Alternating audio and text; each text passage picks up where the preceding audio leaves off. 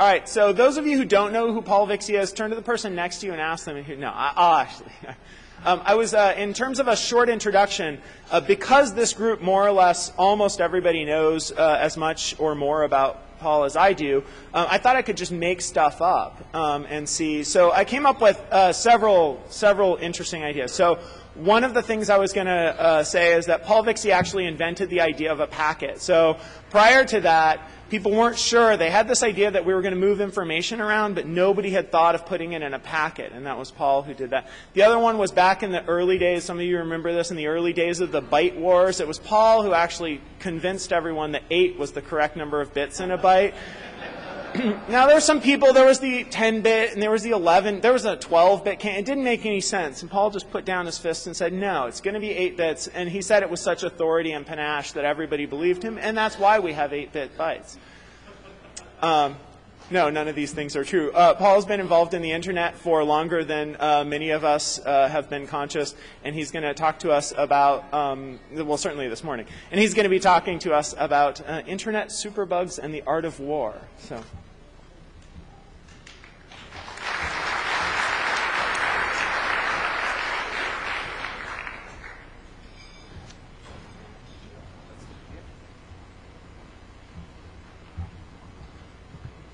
Thank you, Todd. Thank you, everyone. I was asked uh, by several members of the security community to keep track of uh, sort of how many of you looked up from your email to, uh, to actually listen to this. Uh, so I'll be I'll be sort of peering out, trying to get a poll on that topic. Um, I guess what Todd didn't mention is that it's getting harder and harder to find anybody in our industry who has not been lectured to or yelled at by me on the subject of um, you know, the, the scale of morality. So when they were uh, sort of looking for a keynote speaker, I realized that the internet security industry and the, the history of the internet starting to look uncomfortably to me like the movie Groundhog Day where you do the same thing over and over and over again, and you just seem to be stuck there. Um, so I've put some thought into why we are still doing the same thing uh, 10, 20 years later, and why we keep losing. Um, some of you have heard some of this before. Um, I want to say I've taken the unusual step of quoting some people without their permission. Uh, I think you'll see that because of the way I filed off all possible context, uh, that it's not actually an information leak. Um, if any of you, uh, either in the room or on the video, feel that I have stolen your jokes and should have given you credit, please let me know. Um, so, let me begin by talking about antibacterial soap. Um, there are chemicals you can put into liquid soap that will kill germs. And uh, what parent doesn't think it's a good idea to have something like that in the bathroom where the kids are going to wash their hands? Uh, this stuff flies off the shelves.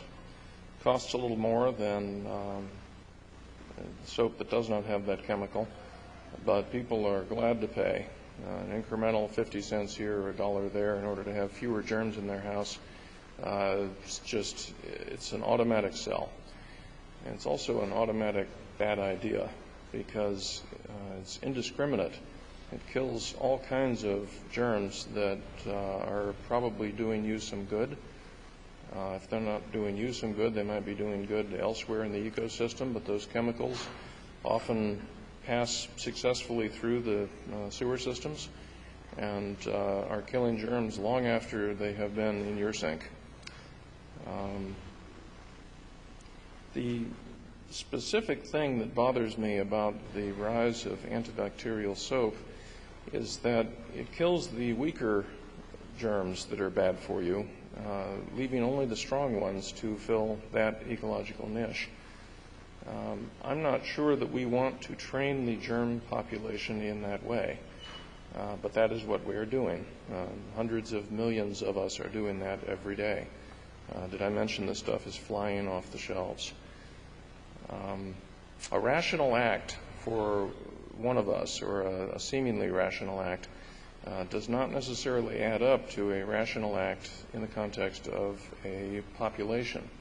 In other words, it doesn't scale necessarily. Now, um, I did this. Uh, if you're getting a lot of spam today, I am one of the people who caused you to uh, to get so much because I was antibacterial soap for the spam industry in the late 90s. I had uh, a lot of passion, a lot of anger about people using their networks to uh, send me traffic I didn't want. Came up with this system, uh, mail abuse prevention system, and uh, that is spam spelled backward in case you're not paying attention. Um, and it did a lot of short-term good. At least it made me feel good. Uh, it caused a lot of people who would otherwise have just uh, rented a T3, which was then the fast, fast kind of link on the net, uh, and sent spam all day long to not be able to do that. And so they were frustrated. Uh, I was sued.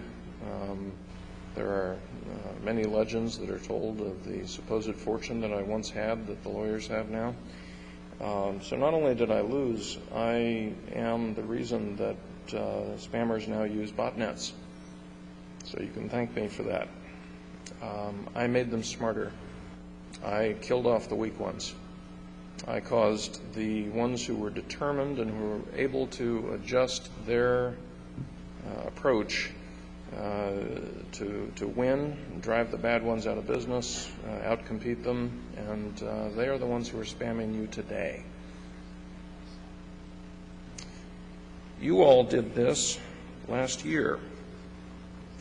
A company called Atrivo had colo space and transit connectivity in a number of places, including 200 Paul. And we had space at 200 Paul, and I can remember for a couple of years walking by the Atrivo cage, knowing that this is where most of the botnets were being controlled from. This is where most of the payment systems for illegal transactions were being hosted.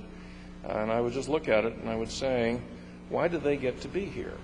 Um, and I just, I, I, had this sort of simmering rage about it.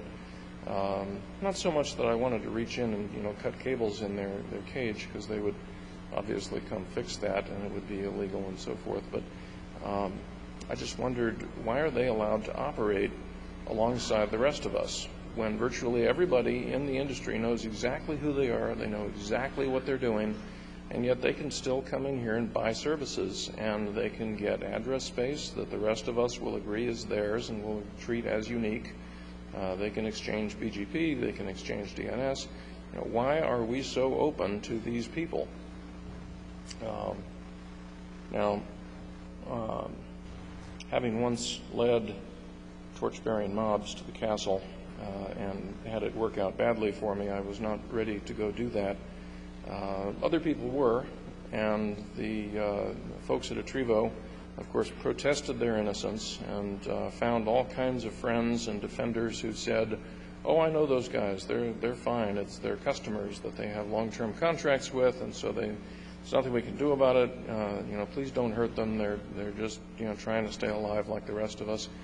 Um, but this particular torch-bearing mob uh, decided, you know, it, it reached the tipping point. And when these people got disconnected by one transit provider, uh, somebody else said, well, they can buy transit from me or they can buy transit through me if they find an intermediary or whatever. Nothing worked. Uh, the, the, the, the mob followed them until they were gone. Um, so I guess, like me back in the late 90s, a lot of you felt pretty good about that. Uh, look what we did. Well, I'll tell you what you did is uh, the total spam volume in 2008, which is the year this took place, did not change as a result of this. There was a trough, I admit, uh, but the spam volume came back late in, late in the year, and it came back strong enough that the area under the curve was the same as it would have been had we done nothing. So you, you, you certainly, we certainly did hurt uh, some people who were profiting from spam, but the spam didn't stop. And the people that, that are you know, sending that spam and really the, ultimate profiteers behind spam made just as much money in 2008 as if you guys had done nothing. Um, on the other hand, we don't know exactly where they are anymore because they are scattered across uh, four continents and they show up. They are much more mobile than they were before.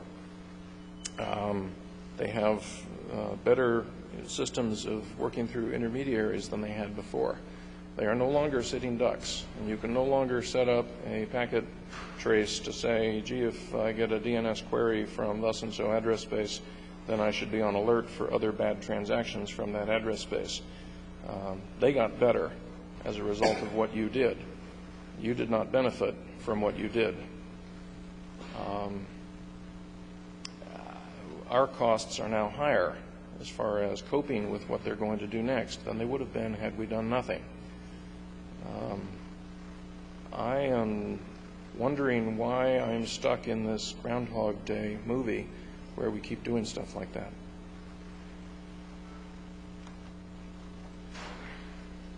On the screen, you'll see an email message.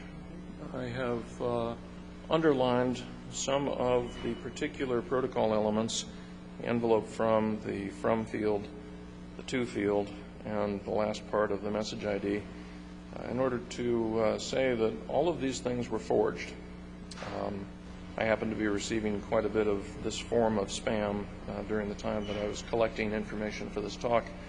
Uh, I also had some from the Nanog Announce mailing list that uh, would probably have been a better example for this audience, except it didn't have uh, as much to underline as this example. Um, the reason all of these things are forged is because in the early days of spam, people put all sorts of filters on their inbound mail or on, on transiting mail and said, uh, gee, if something claims to be coming to me, it had better be from a mailing list I'm on. Okay, the bad guys figured that out and forged it. Envelope from it better match what I expect that mailing list to send. Well, that's been done. It had better be to me, not to somebody else BCC'd to me. Well, the bad guys figured that one out. The message ID had better be one that makes sense to me in some way. Now, this actually doesn't make any sense because uh, nobody that I know of would look for a message ID that ended in vix.com on mailing list traffic that wasn't from me. But uh, so the bad guys might be doing some overshoot on that. Uh, the point being that every one of those small incremental step functions in spam filtering uh, educated the bad guys. You uh, taught them that if they wanted to reach a large audience, they had to forge certain things. And uh, I guess that's okay. I mean, it's inevitable uh, that people will do what they can and that the rest of the population will adapt to what people can do. Um, but you ought to be feeling a little bit stupid if any one of you ever thought any filtering like this was ever going to stop anything for very long. Um, stopping spam for today is not a virtue. Uh, you need to do something a little more permanent. So, um, I have very few slides here that you can read directly. Um, this is intended really to summarize where I'm getting to at, at this point in my presentation. Um, you can't you can't expect that the bad guys are not going to adapt to your behavior whatever you do becomes the new starting conditions for the next round of the game. So it will not be the case that you'll figure something out that will cause them to become aware that you don't want them to do something, and they'll get the hint and go away, and they'll say, well, they don't want me to do that, I better stop. That's not the way it works. Um, furthermore, these incremental step functions are an educational tool. Uh, the community that you are in conflict with. In other words, the people who want to use your networks and your computers in ways that don't meet with your approval um, are getting free training from you. Um, and that is sort of a very natural uh, side effect of what you're doing to protect yourself on a daily basis. And I just want to drive home the point. Um, the things that we do in the name of cost control are not actually helping us with cost control in the long run. um, or doing any other long, long-term good. So I want to talk about Conficker. Uh, there's no L. I, I fairly often mispronounce it by calling it Conflicker, but there's no L. Um, this is a tweet that came out fairly early on after a press release that the Conficker Working Group did. and uh, I just want to say um, we had to do a press release. We had to let the world know that there was this thing and it was out there, but that there was some organized opposition to it. And uh, you know, the only money that was in the Conficker working group was marketing budgets from security companies or volunteer efforts from some extremely talented, dedicated people who uh, let their day jobs uh, swing in the breeze while they go and you know fight this kind of, of, of fire. Um, so we had to do a press release because that was the reward that the companies who were allowing their people to work on this uh, needed in order to then justify the expense. Because um, it wasn't going to be a profit-making activity. Fighting these worms and so forth is, is a dead loss. Um, but the natural result was a fair number of folks said, you guys are just uh, saying the sky is falling, but it isn't nearly that bad. You know, why are you ringing the alarm bells quite so loudly? Um, I heard the same thing when Dan Kaminsky released his DNS vulnerability last year. Um, uh, folks kept saying, "Hey, I don't see the I don't see that the problem warrants the uh, the attention that you're giving it, or the press releases, or the press conferences, or whatever." Um, I have stopped worrying about this. Um, I think I don't know six seven years ago I got up here and told you all about the importance of BCP 38, and a fair number of you said, I'm not seeing any spoofed source addresses in the DDoSes that are reaching me, so why are you ringing these alarm bells? Well, uh, check again. Maybe you're seeing them now. Maybe if you had done something then, you would not be seeing them, or somebody else would not be seeing them now. So I don't worry about the, the folks who, who claim that we are overstating the dangers. Um, some people do, however. And it gets to be a little hard sometimes to get uh, companies to participate if they know they're going to be ridiculed for their for their trouble. Um, but some forms of ridicule are more entertaining than others. Uh, oh crap, Conficker just ate my puppy. Hide your women and internets. Look out. Yeah, um, I was there. And, um, you know, we can speculate about whether the situation would have been much worse had we not acted. Uh, whether the whatever small amount of patching we've had would have been even lower if we had not rang the alarm bells. Um, so there, there will always be people who say that the problem is not as bad as uh, as we're claiming. They will usually be wrong. So the day of the press release, um, somebody who is able to monitor the creation of new domain names uh, noted these. And uh, various people who were in the Conficker working group said, uh, gee, I have a theory about how it is that the bad guys might register some of this in order to then feed people malware under the, the, the, the guise of having it uh, somehow clean their systems. And so every one of these was carefully looked at to find out if it was, um, you know, some legitimate well-known security company or whether it was some fly-by-night outfit or whether it was actual, you know, honest-to-God badware. Uh, you see that the last one has an L in it, which I thought was interesting. Um, we then listed them on a website that was the Conficker Working Group's website and uh, recommended that people not visit these sites because they were uh, you know, somehow not part of the effort. They were not official and they might be bad. Didn't say that they were bad because a number of us in the working group had been sued enough times to know better than that. But um, some of the fly-by-night people got pretty outraged at us for outing them in this way. Um, Now, it's interesting to note, you know, uh, this guy says he's gone to a lot of trouble this week to build a site. Now, I don't know how much trouble you can go to in a week.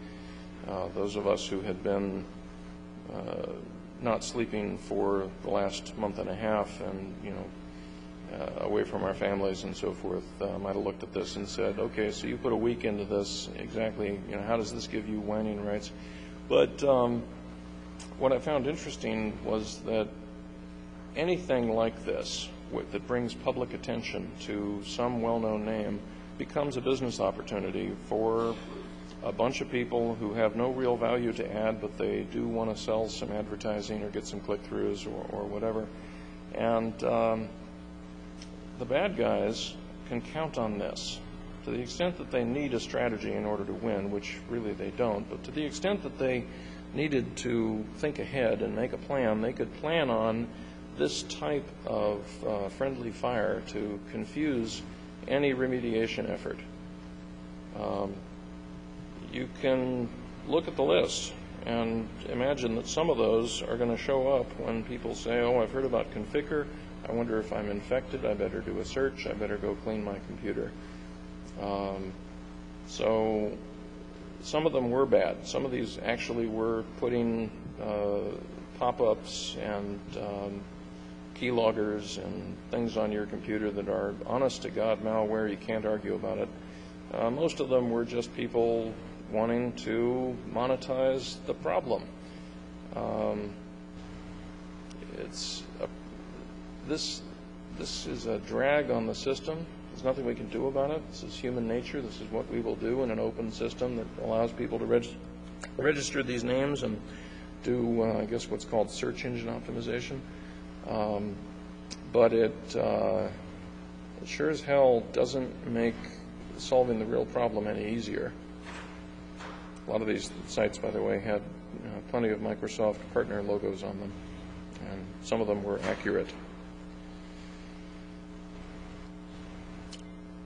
So um, one of us made the observation that uh, since Conficker used encryption in its command channel, uh, that made it very difficult for us to send it uh, commands that would shut it down or deinstall itself. Not that anybody has figured out a legal way to do that, but um, ne- nevertheless, this is a botnet that was operating in the open that had enough encryption built into it that they could keep good guys or other bad guys from taking it away from them, which I thought was impressive uh, and shows that a lot of evolution and a lot of training has occurred on, on that side of the, of the wall.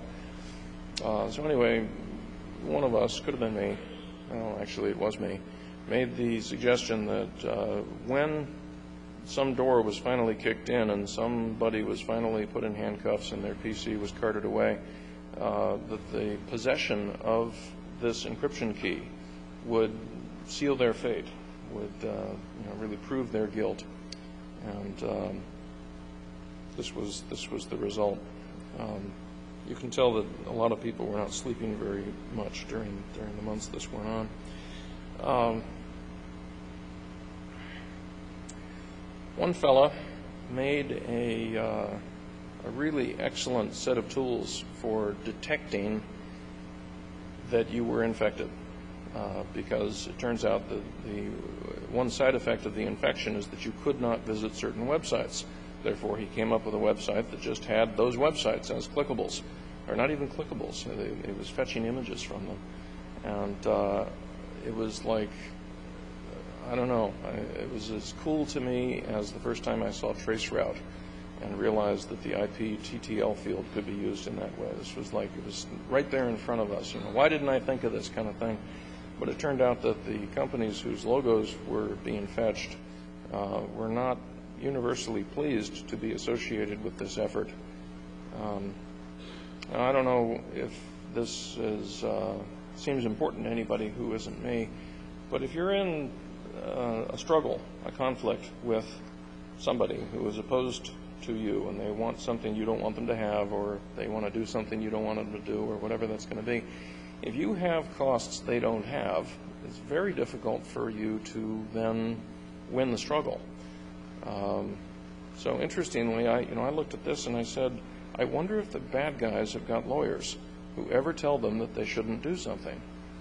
And, you know, I'm not saying we shouldn't have lawyers. I'm saying, are we aware that when we burden ourselves with all the different things we burden ourselves with, we are uh, tying our hands? You know, we're sort of adding an extra sack of rocks to the to, to the backpack before we try to beat somebody to the top of the hill. During the last couple of months, there's been a lot of fighting all over the world. Um, I was, I, fell out of my chair with uh, disbelief and concern when the Pakistan government entered into a peace agreement with some armed militants allowing a change in uh, federal constitutional law and protections of, uh, thereof for a disputed region of their own country.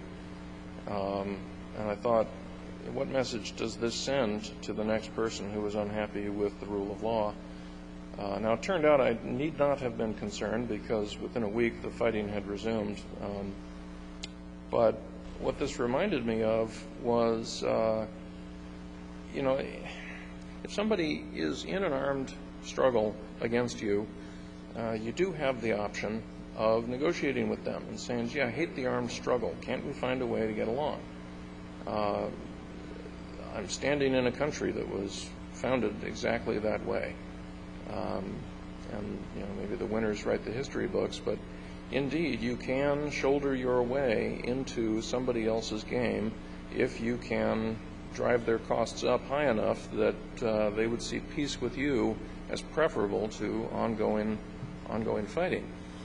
Um, you can do that, and if you can get away with it, then I guess that's fine. If you can't, then they call you a criminal, and if you can, they call you a revolutionary. Um, but I think that the credit card banks, the credit card companies and the banks who, who clear those transactions have budgeted some billions with a B of dollars per year for loss and fraud.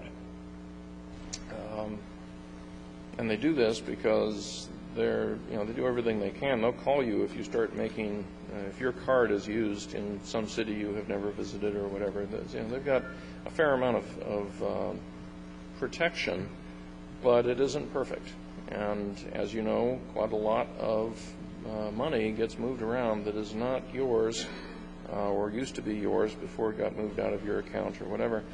Um, the banks often will reimburse their customers for those losses, and they have a budget for this. Um, they have insurance for this. They have all kinds of money that they set aside in order to cover the parts of the security problem that they can't solve on the front end. So you can, in a sense, view the bad guys as entrepreneurs who see that pile of money, they know it's there, and they want it. And they, they know they have to outcompete other bad guys to get it, uh, but ultimately they don't want to leave that money on the table. Uh, so, to the extent that your banks and your insurance companies are willing to essentially negotiate with the bad guys over how much loss there can be, uh, they're not doing you any favors. They might be doing you or me a favor individually by reimbursing our losses. But by setting up the system in a way that puts billions of dollars on the table for the taking by the best bad guys, uh, they are really not helping with the long term. They're, they're getting through the quarter somehow, but they are not helping with the long term. Certainly not going to make the uh, internet or the financial system safer for my children. Not to be outdone, there was a, uh, a picture of the Israeli cabinet that showed up in the front pages of various newspapers. And apparently, in the mainstream newspapers in that country, that's fine, but there are some newspapers that cater to the so called ultra Orthodox, uh, for whom women on the cabinet is a bad deal. And so they just cut them out. I thought, um, they're not at war, right? The ultra-Orthodox people are not ready to take up arms and try and reclaim their country from the mainstreamers and not and vice versa. Uh, it's not an armed conflict, but it is a bit of a conflict. They can't be fooling anybody. They are not. Uh, the, the, the, readers of these newspapers are not looking at those pictures and saying, "Oh, I'm glad there are no women on the cabinet." If anything, they're looking at the empty spots and saying, ah, I'm glad that those uh, offensive images were removed before I got to see them." And I started to wonder, um, how often does it happen in the opposition, which I guess in this case would be terrorists, but in our opposition, the bad guys who want to use our computers and our networks for their ends, how often do they have to hide information from each other because it's offensive? Um, you know, we uh, we carry burdens they don't carry, right? The, the, the, the criminal economy is amazingly efficient. They have clearinghouses, they have um, forums, they have IRC channels, they have all kinds of things. Uh, sometimes they're poorly organized, and it, will turn out that uh, half the population will be from security companies there to watch them. Sometimes they'll be intensely well organized, small, sort of almost like revolutionary cells. They're organized only among people who know each other by name and uh, only get together for a brief period, a single project, and then they then they move on. Um, and all that matters to them is what you can do and how much you want to charge them for doing your part of some operation, and then they're on to other stuff. They have no burden of the kind that we have with, well, should we do a press release? Or, well, would this information be offensive to Microsoft, given that their system is the one that was compromised, or anything like that? Um, how much of our superior forces are dissipated in uh, just coalition management? The bad guys don't have to do.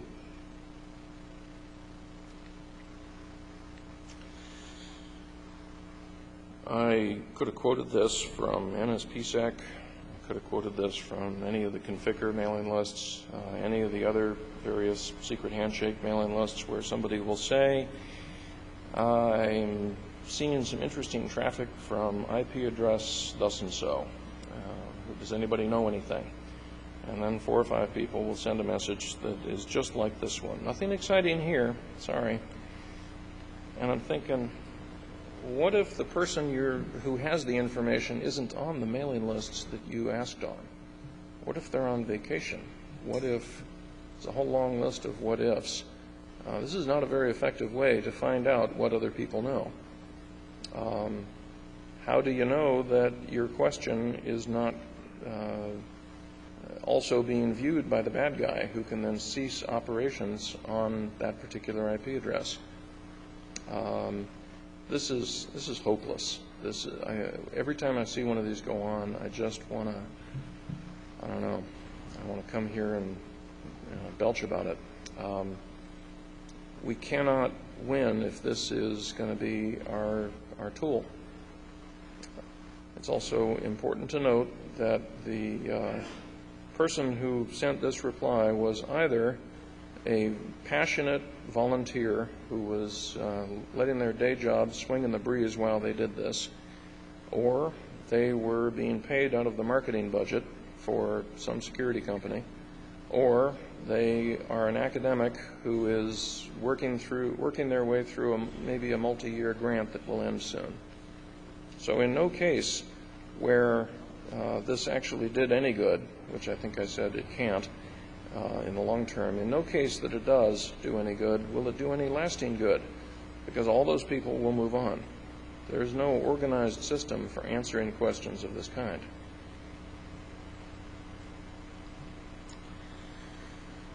So, um, Conficker, here's an L again. Uh, Conficker did its, uh, I guess, marshaling.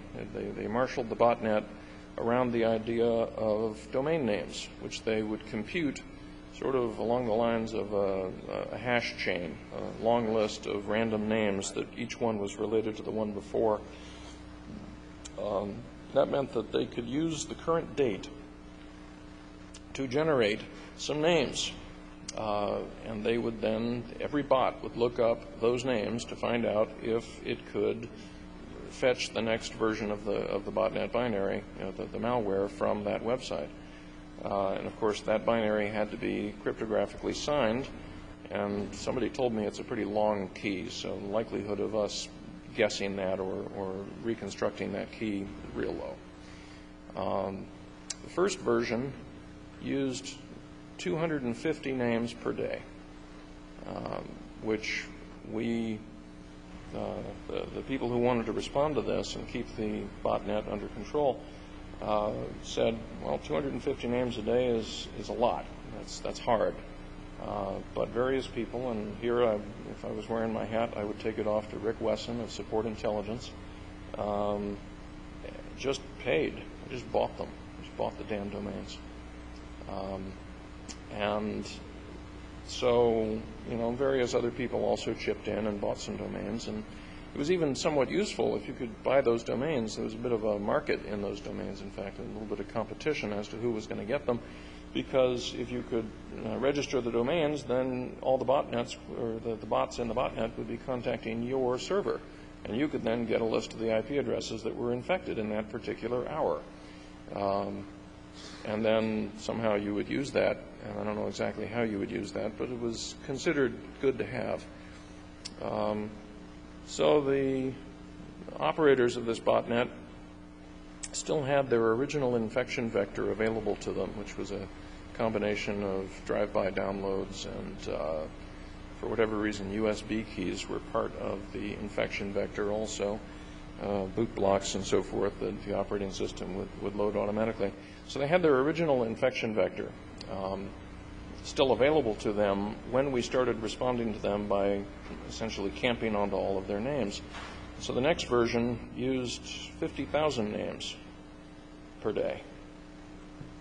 And uh, that was them more or less challenging us to uh, go buy them, go see if we're willing to pay that much of you know, whatever the wholesale cost is, five bucks per year per name. Um, fortunately, ICANN stepped up and uh, put us in touch with all of the different top-level domain. There were 110 country codes that were uh, involved in this. Um, and several of them have got uh, second-level domains, like I don't know if UK was on the list, but you could imagine that uh, co.uk is where the registrations would have occurred. So there were 116 different domain names that were used to, as parents for these random names.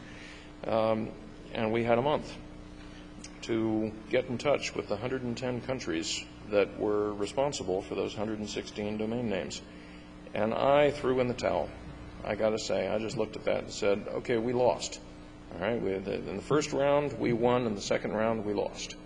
And so it goes to show that sometimes I, this is hard for some of you to believe, sometimes I don't drink enough coffee. Um, this uh, was done between ICANN and various members of the Conficker working group and phone calls and plane tickets and email and so forth. All of the affected country codes agreed to participate by either registering the names and pointing them at our name servers so that we could collect information about the botnets or by blocking the names and flagging them so that if anybody tried to register them, you could, uh, uh, we would know immediately who it was and what stolen credit card they had used and, you know, perhaps send people over to kick their doors in and uh, shackle them. Um, so that was huge. I was very impressed. And uh, I, have, I have not always had wonderful things to say about ICANN during their history, but I will say they really stepped up and did some good things uh, by coordinating that part of the effort. Anyway, um, the next part of the game, therefore, got to be uh, well, we better look at every one of these names every day, not only today's names, but names for the next week, and make sure that some bad guy hasn't camped onto one early in a way that uh, all they have to do is wait for the clock to tick over to that point, and all of a sudden they will get control of their of their botnet. And we're talking about half a million to a million to a million and a half infected computers. So um, certainly it's one of the biggest single botnets that uh, has ever hit the papers. And it was, in our opinion, uh, those of us who worked on this, it was very important. It was uh, really crucial to keep the bad guys from getting full control over this, this net. So a lot of ma- mail messages, like the one on, on the screen now, came about. It said, um, we've got some pre-existing domains. What are we going to do about them? And what that meant was somebody already had the random string that Conficker was going to choose for a certain day. Uh, and we would then do a lot of work looking at the website, looking to see how, how long ago was this registered. We figured if it was registered two years ago, it couldn't be part of the current effort. Eventually, we found a couple that were insecure, SQL injection and so forth, so that even though they were very old, they were subject to having malware inserted into the website in the place that the binary, the, the malware would then go look for it.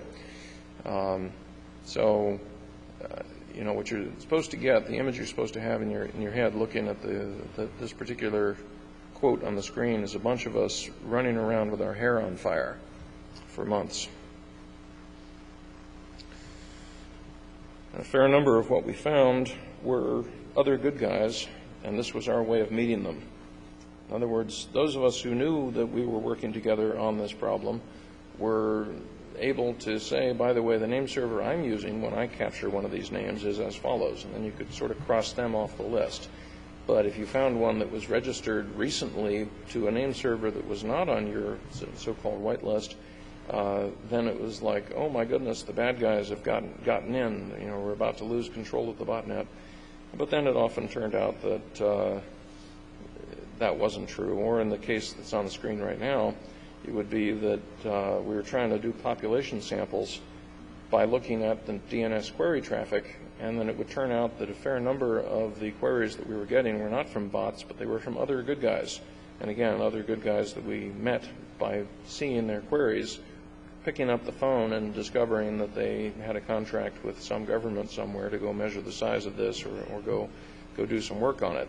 So I guess there was a good side benefit that we got a chance to meet other people who were like-minded that we had no, no ties with before this. But uh, it also meant that we had a lot of administrative paperwork to be done. Todd, how am I doing on time? Uh, and this is an administrative burden that the bad guys certainly don't have. This came up a lot. Um, there were so many people dumping so much information into the various mailing lists where this was taking place uh, that the discussions, the debates, the philosophic rantings, usually from me, and the reports uh, became sometimes hundreds of messages a day. And a number of people said, can you please take, this, this comes up on the NANOG mailing list uh, fairly often also, can you please take this to another list so that I can read only the part that's important to me? Uh, at last count, there are seven such sublists. All of them have too much traffic on them. Uh, again, I have to wonder if the bad guys have anything like this burden when they're trying to launch one of these attacks. So, um, a number of the companies who was involved uh, in this all had to do sort of follow-up press releases and blog postings and things like that, talking about various things. And again, it's because generally it is the marketing arm of these companies. Uh, when they're fighting a botnet, they are not serving their customers directly. They're serving their shareholders. Um, and so, you know, dancing with who brung you uh, meant that a lot of people had to disclose a lot of stuff. And then there would be this fight that would happen internally. Why did you disclose that? Now the bad guys know that we know it and other people would say, well, it's obvious that we know it, um, and, and, so forth. And um, I guess cooperation is hard to come by, even if there isn't, you know, a fire raging at your feet. But um, I keep asking myself as I go through uh, this year, um, is this a cost that only we on our side of the wall have to pay, or are the bad guys paying a similar cost? This would be one where the answer would be no.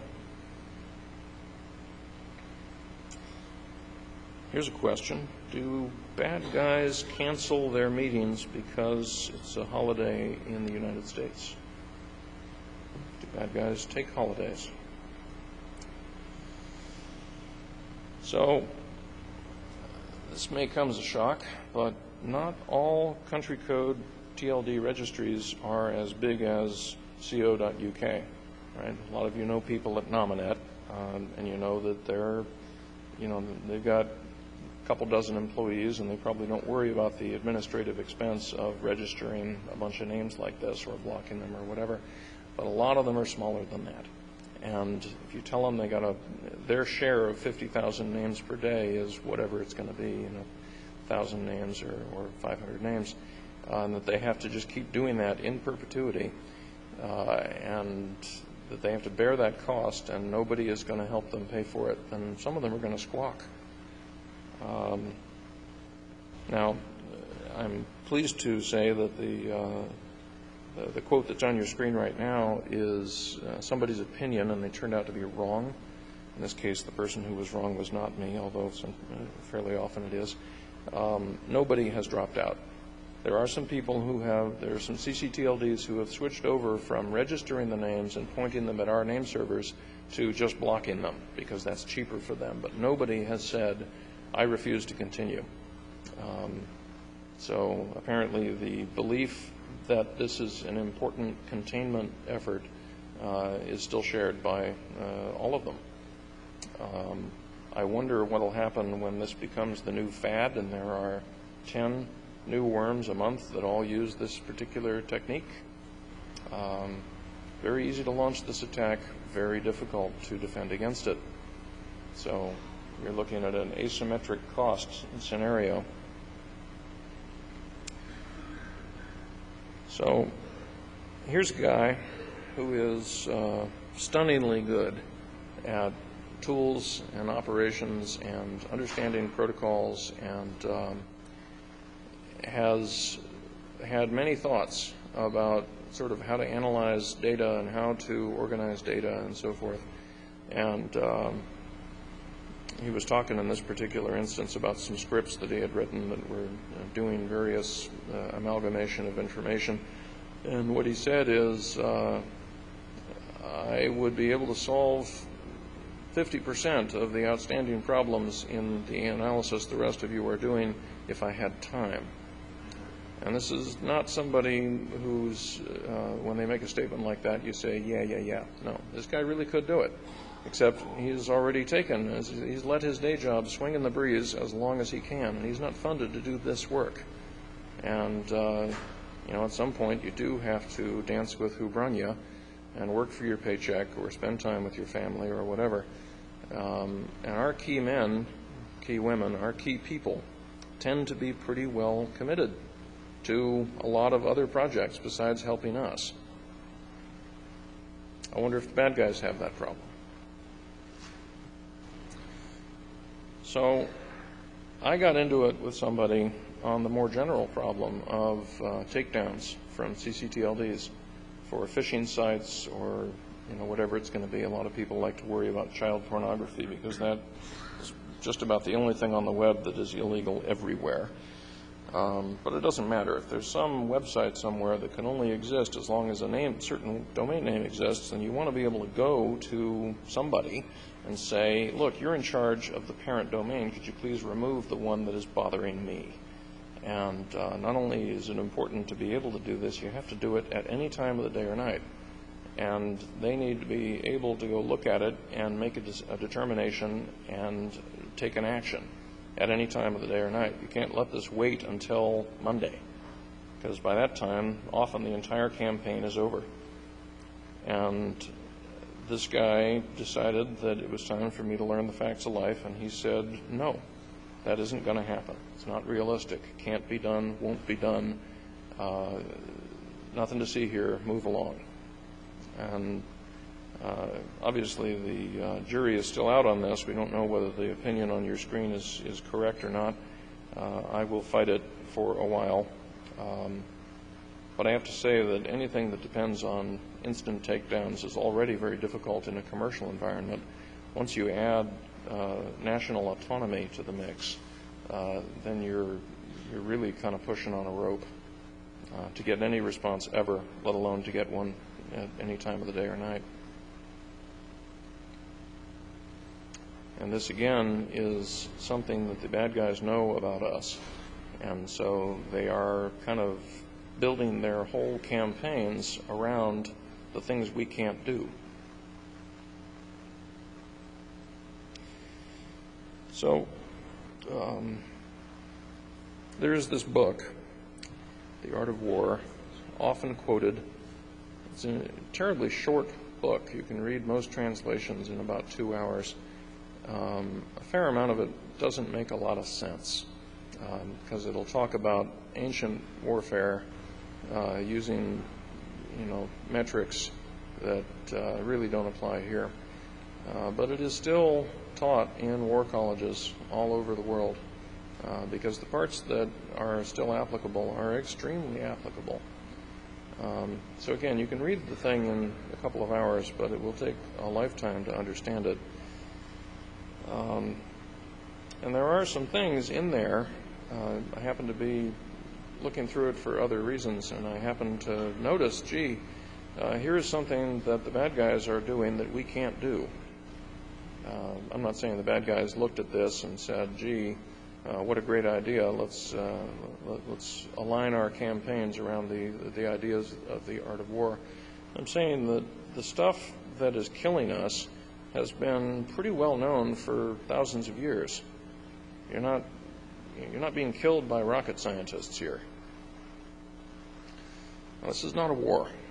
Uh, we are not governments and states. We are not generals and armies. Um, so you have to sort of see past the some of the nouns that are used um, and, and look at the actual force vectors behind these equations. Um, I don't know what exactly to call this. It isn't a war. Um, I'll get back to what it is later, but it's a mouthful. So I'm not going to read these. Just leave them on the screen for a moment and say um, there are some people who run the HoneyNet Alliance that are heroes of mine because they practice this particular type of deception. Um, the rest of us don't. Uh, the rest of us are sitting ducks. And any of you who has sort of just had to stand there and take it and go toe to toe with a DDoS for days or weeks on end knows pretty much what I mean. There's no deception open to us when we're trying to uh, win any of the, the minor skirmishes that are in the long conflict that we're in. Uh, but this stuff here is the bad guys get to do this every day, all day. In fact, they have to do this because they are not the superior force. So, when we don't lose, I don't want to say that we win, but uh, win ever, but on a day that we didn't lose, do we get to take anything away from away with us that will help us um, be stronger in the next conflict? I would say that the answer for us is no, but for the bad guys, uh, this talks about chariots, but I'm looking at botnets. Um, they are using networks that we build and that we pay for the link, you know, we pay for the, the dark fiber and the capital and everything else, and they're computers that uh, we bought for our parents or our children or, or whatever. Um, it's all our stuff that they need in order to execute their business model. Um, they have very little stuff of their own. To the extent that they buy stuff, it's uh, expensive houses in the French Riviera or expensive Italian sports cars. They, they, the rest of what they do, they use our stuff for. Um, so this whole augmentation thing, they get to do and we don't. Makes you wonder exactly how long we can keep doing that. It's a whole section in the art of war explaining sort of the bad things that will happen to you if you set yourself up for a lengthy campaign. Um, our campaign is not only lengthy, it is unending. um, their campaigns are very short. So when somebody wants to do something, they will assemble whatever team they need and whatever data and tools and so forth, and they'll buy whatever botnet or whatever they need to do, and they will send whatever spam or DDoS or they'll do whatever they're going to do, and they'll pass it on to the next person in their economic chain, and then they're done. Turn off their computers and they go out to dinner. Um, we just have to treat this as the long war, the unending war.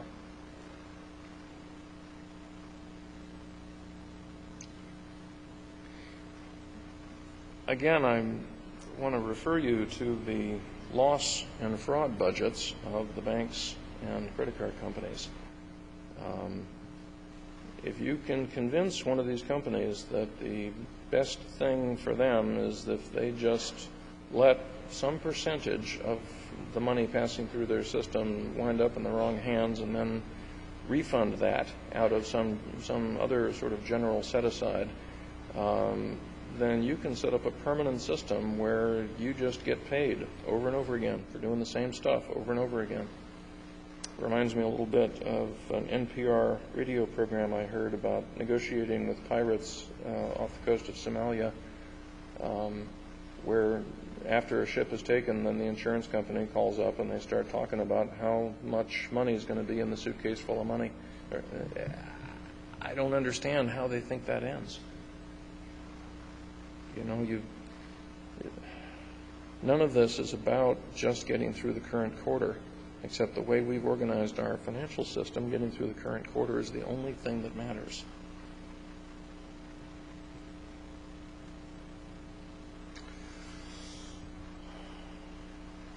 Here, I was made to consider once again the quote from uh, the Conficker discussions about round to its. Uh, I'll get around to it. Once I get enough round to it, I can handle that for you. Uh, it is often possible to know how to win, but not, but to then not be able to do it. And we are very rarely on the offensive.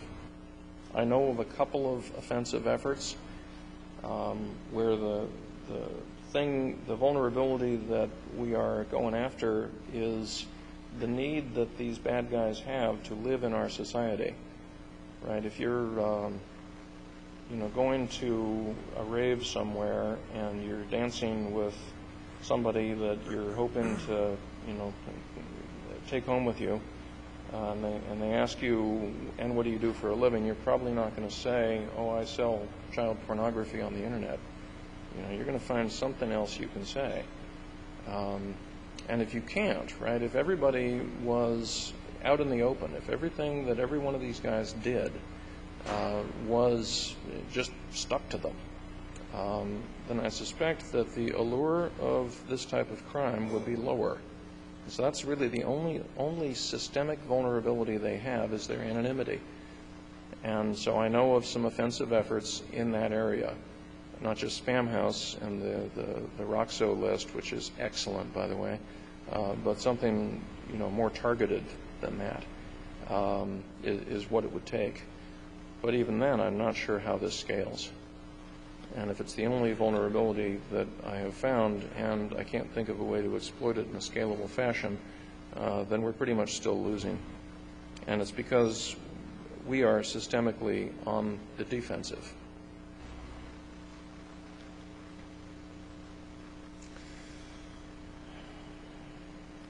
Can anybody look at this and not see DDoS? I just, um, we don't have a way to exploit this advice. The bad guys do. And um, we like, when we employ defenses, to think of them as constants. In other words, I think I'll install ClamAV or something, whatever it's going to be, a firewall. I'm going to go install that to protect my network, my server, whatever it is I'm going to protect. And then I'm going to move on to my next project. And I am not going to come back to this until it stops working. I am not going to continue fiddling with it forever because I would go out of business. Um, generally, it takes the technically deepest people on the team to get any of that stuff working or to fiddle with it And if you're spending your salary budget in that way, you're probably not going to last long. You'll end up getting bought out by somebody who didn't do that. Um, so we like to treat our uh, warfare, as they call it here, as a constant condition because that's the only thing that makes economic sense for us. I know that the bad guys are not doing that. They are treating everything we do as the next, as the starting conditions for the next round in the game.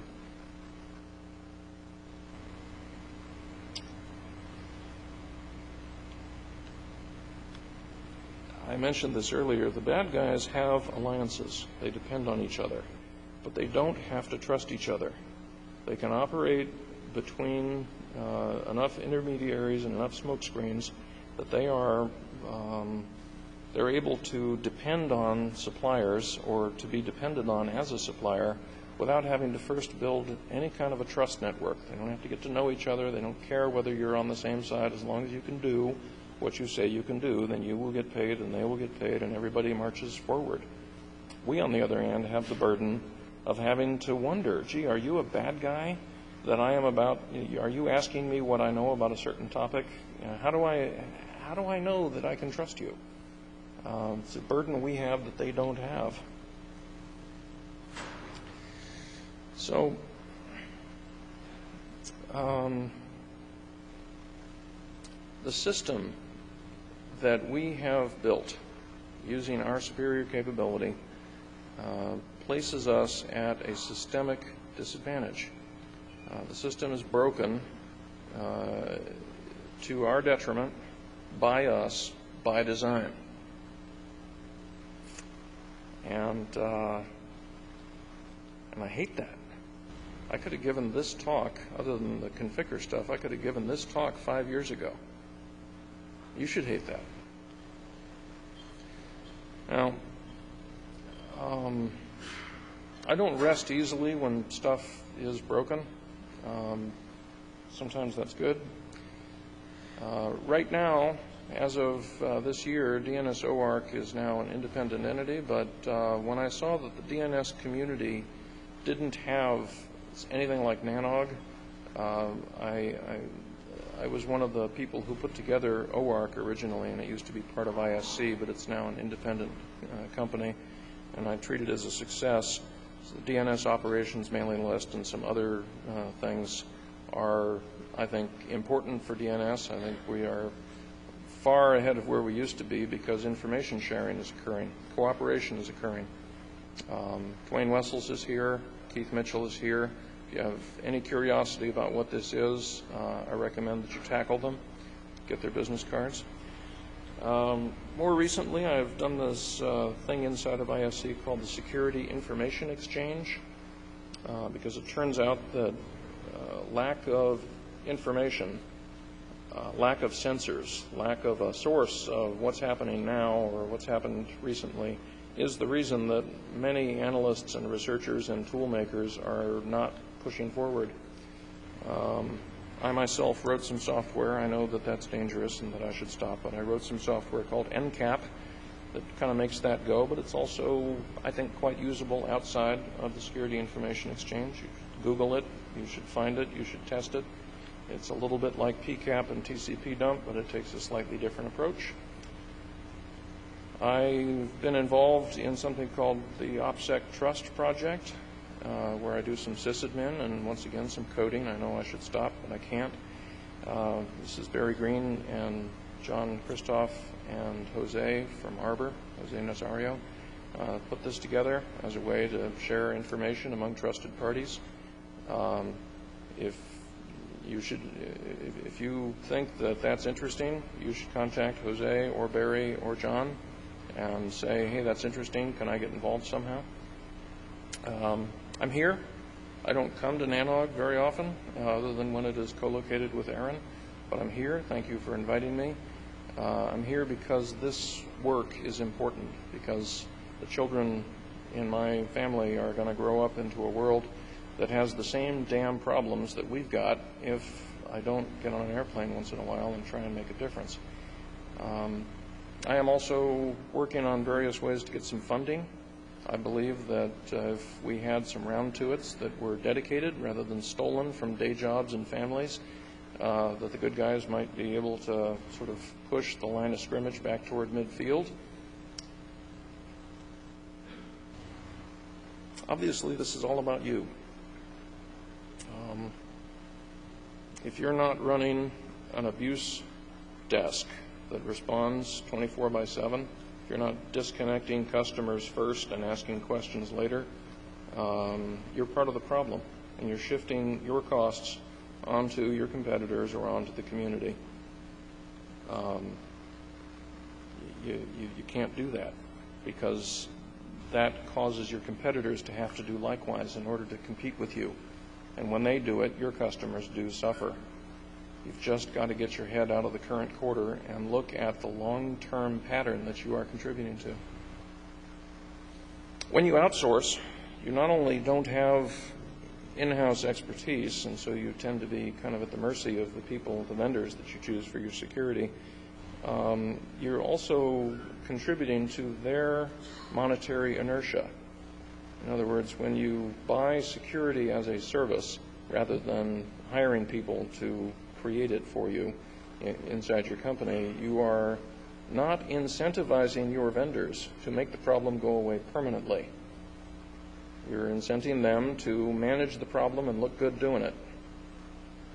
And you got to think about what that means for you in the long term.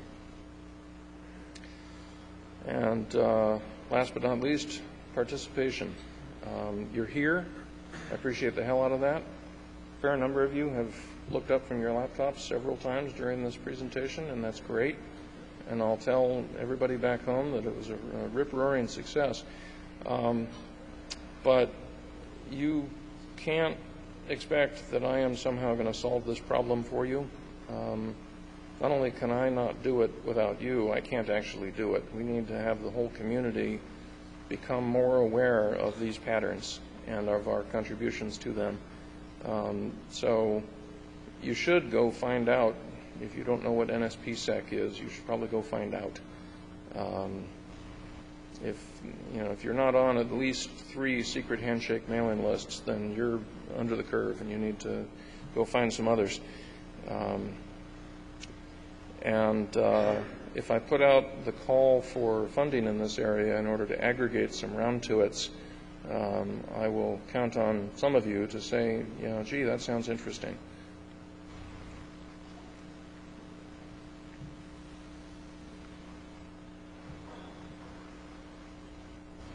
Anybody want to queue up at the microphone? Any questions? I'm getting the hook. No, I was just going to moderate that. We have, we have a few minutes for questions, so let's have a, a little round of applause while you all ponder.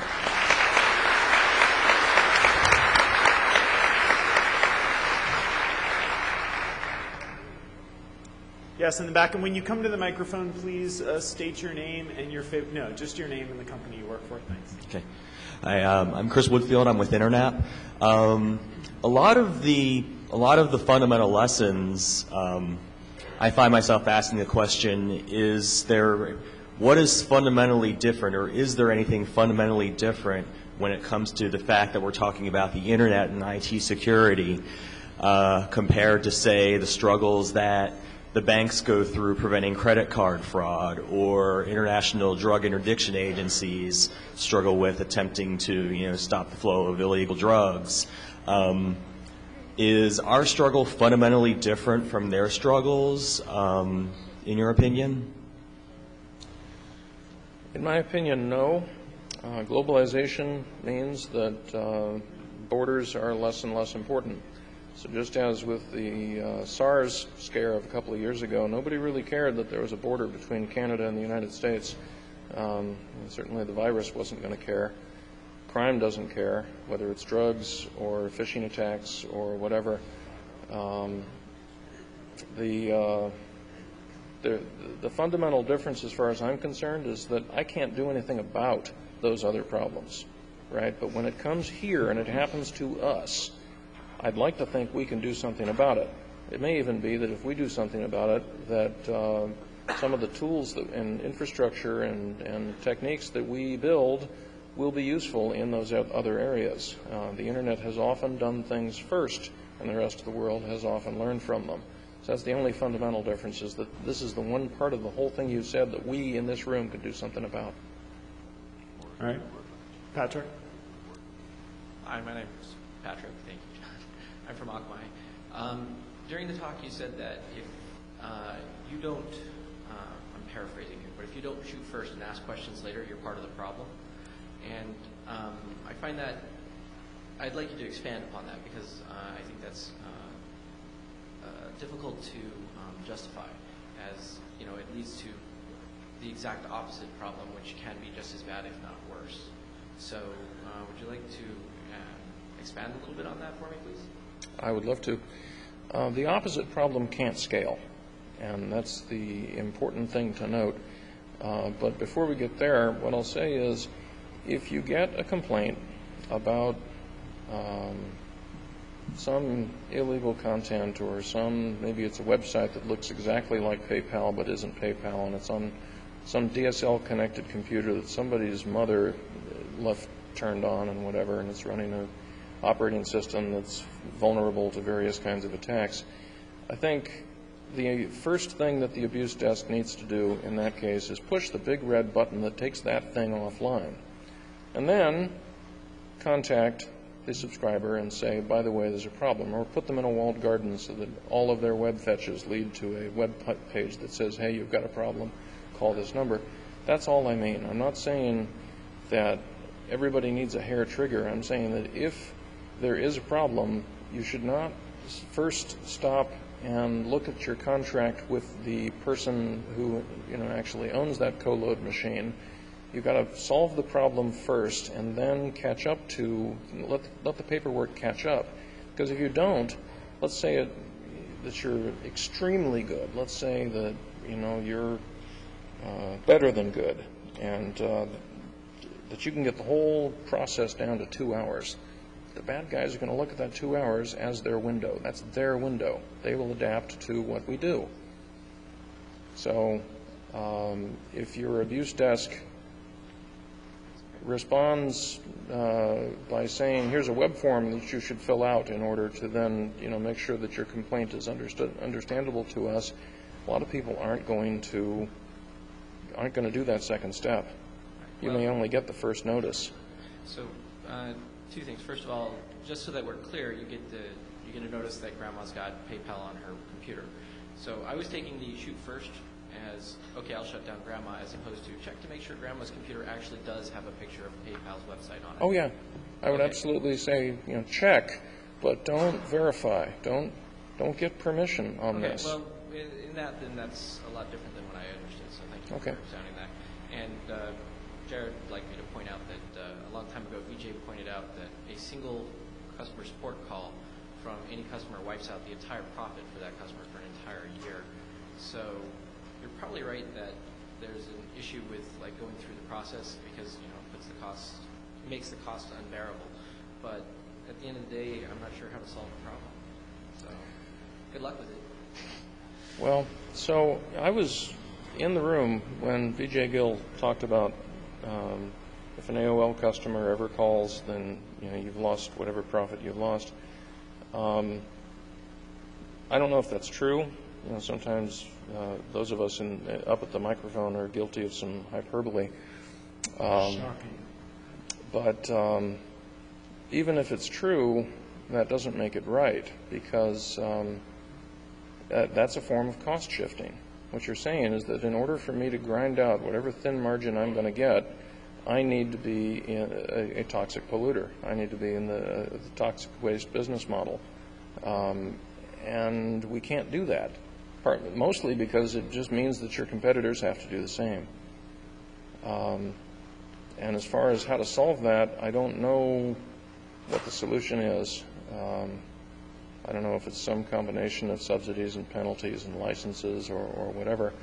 Um, but I sure don't like where the world will go if we don't treat this as a problem and, and search for a solution for it, or I wouldn't be here. Time for one more question in the back. Da- Dave Crocker, Brandenburg Internet Working. Um, your, you invoked two models, really. One was the superbug and the other was war. Um, on, on the war one, um, the problem is we don't really have an organized state attacking us. We have something a lot more diffuse. Um, I, tend to prefer organized crime as the model of what we're trying to respond to. Um, but I'm, I'm intrigued on the other side with the superbug model um, because you didn't actually create that. Uh, that's just natural selection. What you did was to make it way more efficient, which is the problem with the, the antibacterial uh, hand creams. And the thing with that model that is interesting to me is it's got two parts. One is the response to an attack, and the other is um, prevention of the attack, where many times prevention is a better immune system. Immune system's about responding. But when immune system is in good enough shape, you don't even see the attack. And so my question is, um, you, you've really focused a lot on the aggressive response side of things, and I'm curious whether you have any comments about the um, the prevention or protection at levels which end up not even seeing the attack. Of course, a lot of the attacks that we don't see are probes, and maybe the attacker moves elsewhere, or maybe the attacker comes back later looking different. Um, so, not seeing it is not a panacea. Um, a lot of the stuff that we use on the internet, these protocols, these tools, these uh, network stacks, uh, evolved in an academic environment where everybody else on the network was trusted. Um, so I have frequently referred to them as laboratory grade protocols because um, they really do work well when it's a bunch of cooperating uh, hackers around a, a, table with a you know a hub in the middle. I don't necessarily scale. Um, the original work on firewalls caused a firestorm of protest from people who said, no, IP is supposed to be end to end. Um, I want you to try to imagine sort of how secure you think that computers would be if they didn't have firewalls. Um, in other words, the current present day scenario is not the worst possible one.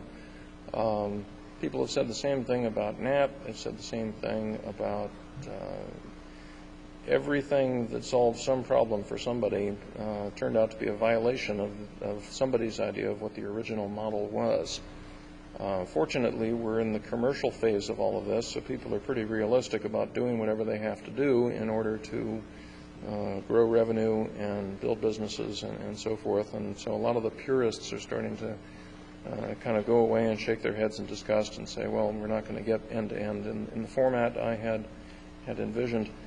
Um, I was such a purist for a long time, so I'm, I'm, I do not mean to throw stones at others.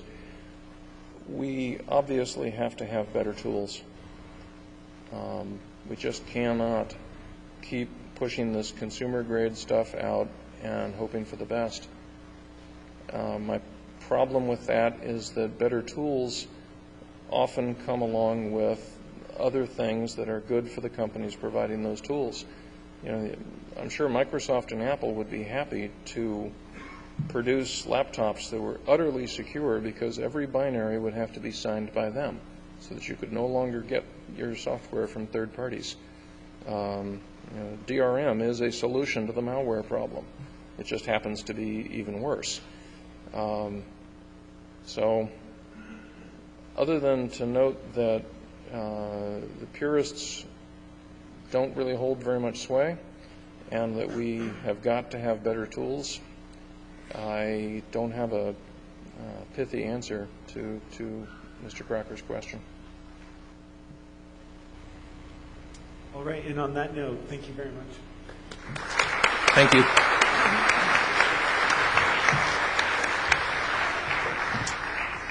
We are at a break. There uh, should be something to eat and something to recaffeinate. Uh, we'll be back here in 30 minutes. Thanks.